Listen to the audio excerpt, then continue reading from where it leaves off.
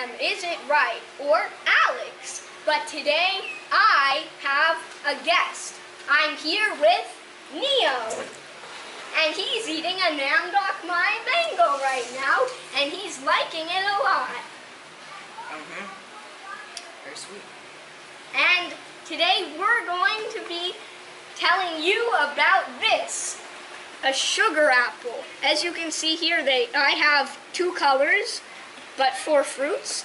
Three, this purplish color, and the other one, this greenish one, but I'll have some other colors on screen right now. Um, but let's go ahead and do it. So for anyone wondering, if you're looking over here, I'll just give you a quick name of all of these. So right here we have Black Sapote. I'll have a video on that soon. Mamey Sapote already did a video on that.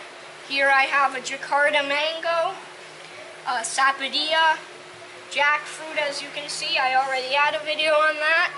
And soursop, passion fruit, two passion fruits, um, Namdok Mai mangoes, the same as that, and Noni. So, um, Neo will tell you a bit more about that. It sucks. It tastes horrible, but it's not for you. Yeah, it's supposed to be very good for you, so that's why people eat it. But today we're going to be doing this, a sugar apple. So, um, a sugar well, sugar apples are native to the West Indies, and the scientific name will be on screen right now. But I'm just going to um, show you how to tell when they're ripe now, and then we'll do the taste test. Yes! So, how to tell when it's ripe? I'm going to show you this one right here. Now, this one is um, very, very ripe, as you can see from the crack in it. By the way, it's raining right now, so you might hear the rain. Um, yeah, a lot of rain. But here, this green one, um, it is so ripe that it's split open and it's extremely soft, as you can see. So this one is absolutely ripe. I want to So, feel it. all right, feel it. Oh my, oh my goodness, I squished it. Yeah, and then right here we have the purple variety. This one is not, this is ripe, but it didn't split open yet, which is good. You don't really want it to split open. But as you can see, it's still soft. Unfortunately, I don't have an unripe one, but if it's unripe, it will just be hard. But it will most likely look the same as a ripe one. So right here we also have another purple one. This one is soft as well. And that's the same for this one. And this one that Neo is looking at. So now we're going to taste it. So first we're going to open up the green one and then I'll do one of the purple ones to see, you know, the difference. So we're just going to open it up. It's already been cracked open as you can mm. see. And this is what it looks like on the inside. So you can see the seeds. So basically, um, on each of these little scale things, um, on the on the inside, it's connected to that, and there are these little pods. Let me show you that better. So these are like stuck to these little things, but you can get them off pretty easily. And there's a seed, and there are a lot of seeds in it, so you have to be careful. But I'm just going to take a little scoop Let me taste it. and try it. I'll give you some later.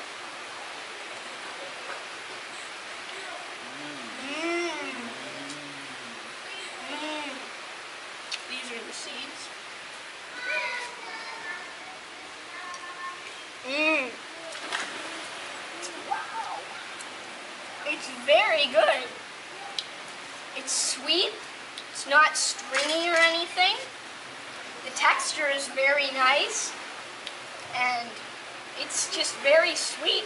And I like it a lot. Oh, Oh. why? Because the taste. So to me, it tastes like kind of like a, um, I would say a crot, a mix of a sapodilla, a tiny, tiny bit of mango, and with something else. and it's very sweet. And I like it a lot. Now, we're going to go get a spoon for Neo to try. Just wanted to let you know, um, I've had this before many times, but Neo over here has never ever had it before, so you're going to be getting the entire first impressions of him eating it. So let's go ahead and see what he thinks about it. This is 100% real reaction right here.